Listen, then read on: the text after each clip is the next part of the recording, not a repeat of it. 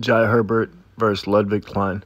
I want to go into full detail on this stylistic matchup and how I break down fights, and this is a great fight to dive into that. So styles make fights, and the interesting part about this fight is they're both strikers, but their builds and their weapons are completely different. You have one guy that's long and rangy that uses punches straight down the pipe, and Jai Herbert, who who gets real confident with forward pressure. He likes leading the dance. But what's interesting is Klein likes being the counter puncher and receiving the dance. But he's got range kicks and hooks. So you're thinking, can Jai Herbert use his one twos and pressure fight while Klein stays on the outside and tries to counter? Jai Herbert builds a lot of confidence, I notice, when people let him lead the dance. When you watch how they hop back and forth and you see how they're reacting and acting to each other, I just think this is the perfect matchup for both of them to shine. I just think it favors the guy with the better frame.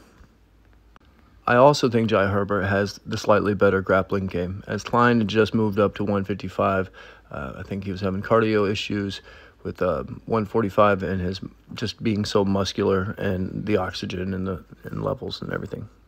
Now, generally, the straight punches down the pipe will always counter hooks, but he does have that quick, uh, explosive twitch. Klein does, and he's very fast with his hooks and his lead head kick, which can counter a lot of things that Herbert does. But if Herbert uses his range well, there's no reason that he shouldn't be able to coast to a 29-28 decision or 30-27 decision. It's it's the perfect style for him to be able to win this fight. But Klein's a beast, and you can never really gauge somebody's athletic ability when it comes to speed.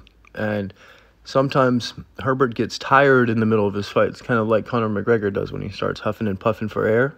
He recovers from that, like almost like an adrenaline dump. And I think that'll be the moment where Klein, in like the middle of round two, could really catch Herbert slacking and hit him with one of them quick hooks or head kick when he's not exiting the pocket. Herbert does this thing like what he did with Ilia Topuria. He takes photographs of his shots. When he got hit with that right hook, he set in the pocket. He he hit him clean and he paused for a second, and that slight pause got him knocked out. Now, he looked real good against uh, his last opponent. I can't remember his name, but solid fighter. And then Ilia Topuria, he was piecing him up before he got knocked out. I mean, he, he looked really good. So I'm liking Jai Herbert slightly in this matchup. I could see Klein winning by knockout, but I can also see Herbert winning by decision. This should be a really good fight. Um, I just think Herbert's got the range, the tools, and Klein will let him lead the dance and use his range and one twos. And um, he doesn't do well moving forward something else when I'm breaking down fights. Does that fighter do well moving forward or coming uh, moving backwards?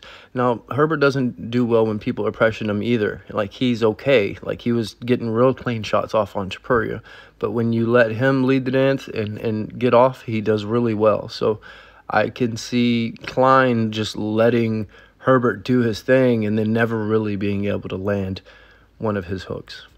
So or kicks the only issue I see is if Herbert starts slacking, pulls the Leon Diaz thing, turns off for a second, and then gets caught, or his cardio becomes an issue. Something else that also happens, Klein lets people push him up against the fence and stall him out there. Something I could see Herbert doing. Uh, he's not a bad grappler. He got muscled around by somebody once, twice, but he's not he's not too bad either in that department. So. Um, Herbert's not a bad underdog. I would say this is kind of like almost like a coin toss fight. So take whoever you want. I think they'll both produce points on DraftKings, either knockout or, or Herbert by decision. There might be a couple knockdowns. Should be an exciting fight, though. There's a lot of good matchups on this card that are very underrated and being overlooked. And this is one of those fights. Second fight of the night.